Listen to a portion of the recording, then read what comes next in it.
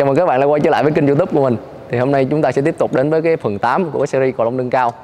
Là sẽ à, đánh hai nhịp nhưng mà mình đánh thấp tay ha. Hôm bữa thì mình đánh hai nhịp là giữa sủi với đẩy á Là cái đó mình xử lý cao tay, xử lý ờ, tay trên cao. Hôm nay chúng ta sẽ đến với động tác hai nhịp nhưng đánh thấp tay. Và cũng giống như là mình sẽ à, đánh hai nhịp với tất cả những cái động tác gì ở trên mặt lưới luôn ha Chứ không riêng về sủi đẩy nữa. Mà hôm nay mình sẽ đánh ờ, sủi đẩy kéo lưới rồi bung hất luôn thì bây giờ chúng ta sẽ cùng đi ờ, tìm hiểu chi tiết ha. Coi động tác này đánh như thế nào.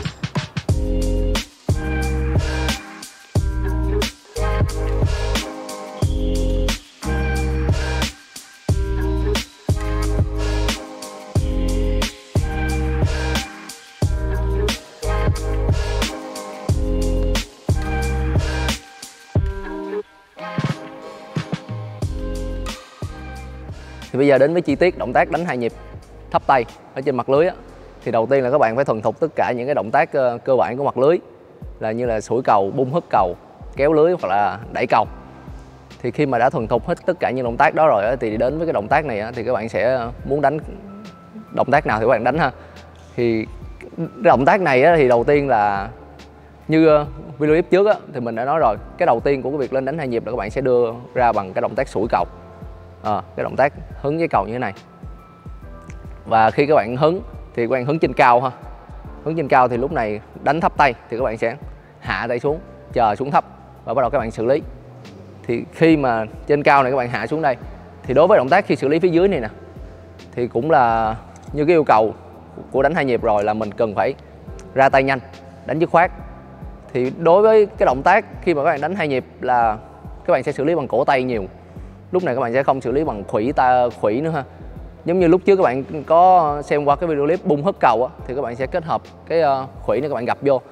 Nhưng đối với động tác khi các bạn đánh hai nhịp thì các bạn sẽ không gặp khủy nữa, mà các bạn sẽ xử lý cổ tay nhanh, dứt khoát, giật giật tay như thế này, đánh giữ lại thì cầu nó mới phát nhanh và bất ngờ.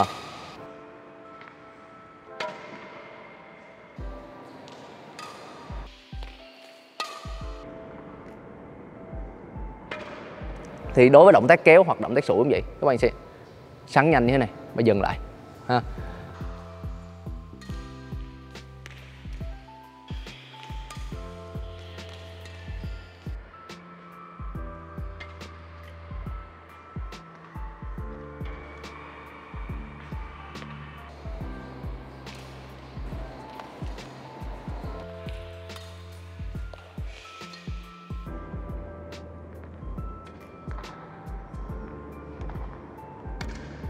để mà đánh cái động tác này á, nó hiệu quả.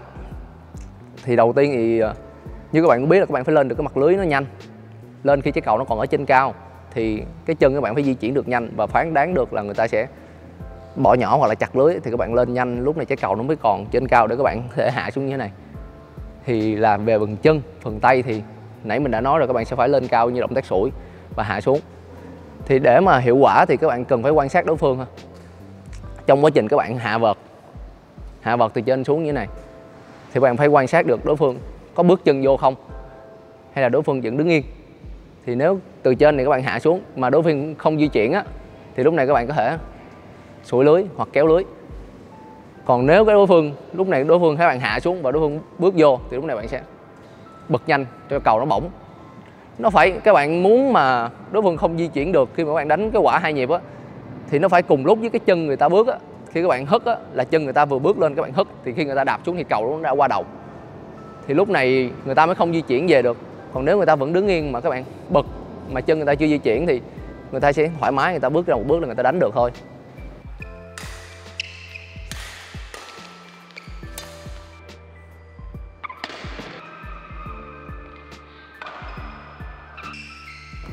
hoặc nếu người ta đứng yên thì lúc này các bạn sủi lưới thì lúc này người ta bắt buộc người ta phải chạy lên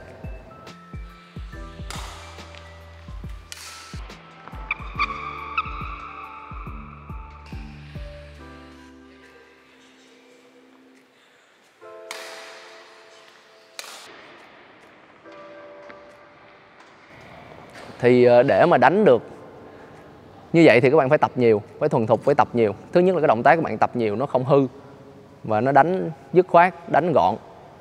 Sau đó các bạn mới kết hợp được là tập những cái trường hợp thực tế, có người vô để các bạn hạ từ trên xuống, nhìn coi, chạy vô thì mình bật ra sau, còn không chạy vô thì mình sủi lưới. Ngoài ra thì nếu mà ra nguyên sân giống mình đánh đơn thì hôm nay các bạn sẽ có bốn góc để các bạn đánh, chứ không là các bạn có thể kéo, sủi, bung chéo, bung thẳng, tùy các bạn nhưng mà thường cái động tác này nó thường áp dụng hiệu quả ở, ở đánh đơn nhiều hơn ha. Các bạn lưu ý cho mình động tác này sẽ đánh đơn nhiều hơn. Còn đối với đánh đôi á thì ờ, thường bên kia người ta sẽ không có phải di chuyển đường thẳng. Có nghĩa là người ta không phải phải lên lưới người ta thường di chuyển đường ngang. Đánh đôi ta di chuyển ngang thì khi người ta di chuyển ngang mà các bạn nhấp thì nó sẽ không có nguy hiểm lắm cũng chẳng không có hiệu quả lắm. Tại đối với đường ngang người ta di chuyển rất là nhanh người ta chỉ cần lỡ hớ qua bên này người ta có thể xoay lại được. Tại cái đường ngang người ta sẽ di chuyển dễ hơn là cái đường thẳng thì khi đường thẳng các bạn nhấp thì người ta mới chạy không được. Còn dưới đánh đôi mà các bạn nhấp mà đối phương bên kia mà chưa di chuyển người ta nhảy qua người ta tán cầu còn nhanh hơn nữa đó. Thì thường trong đánh đôi thì vẫn có sử dụng nhưng mình thường thấy nghĩa là, là có sử dụng thì chỉ sử dụng ở trên mặt lưới thôi. Những cái quả mà đánh lưới á, là bên kia mà kéo lưới thì bên này bắt đầu mình hạ tay xuống cho đối phương chạy theo trái cầu bắt đầu mình kéo ngược lại để đối phương bị gọi là bị gãy á là chạy lỡ bước cái chân qua rồi là không có xoay về được. Thì nó cũng gần giống như là cái động tác các bạn đằng sau bạn lỡ bước cái chân lên mà cậu bay lại sau đầu á. Thì cái này thì thường thì mình chỉ khuyến khích các bạn nên đánh ở đơn thôi. Đơn mình mới sử dụng nhiều, còn đôi thì vẫn sử dụng nhưng mà sử dụng ít thôi. Có nghĩa là sử dụng khi mà nhấp đường đường thẳng với đường chéo thôi. Đánh nhấp ở đằng sau á, hạ xuống mà mình bẻ mặt giật chéo hoặc thẳng thôi, chứ còn mà hạ xuống mà đánh lưới là bị chụp á. Tại vì có hai người là người ta lên nhanh lắm. Thì đó là tất cả những gì về cái phần mà đánh lưới ở trên ờ, cái mặt lưới này về hai nhịp rồi thì hôm nay mình đã chia sẻ rồi. Còn ngoài ra thì nó sẽ còn một số cái động tác là mình phải ờ, điều khiển cái mặt giật thì đường cầu nó bay ảo hơn nữa. Thì cái đó thì mình nói sau hơn cái đó nó thuộc về chích shot. Thì vừa rồi là mình đã ờ, hướng dẫn tất cả những gì về đánh hai nhịp. Thì các bạn nếu mà có thắc mắc gì á hoặc là có cái ờ, điểm nào chi tiết nào á mà chưa hiểu á, thì các bạn có thể comment xuống phía dưới ha. Thì giống như mình đã nói thì mình sẽ có một cái series giải đáp tất tất cả các thắc mắc của bạn.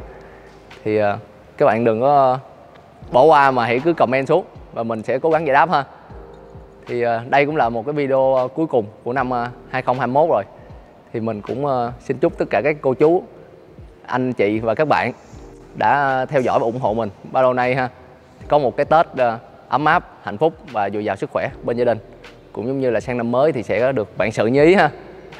Thì uh, bây giờ thì uh, đã kết thúc video rồi. Thì xin chào các bạn và hẹn gặp các bạn vào năm sau ha.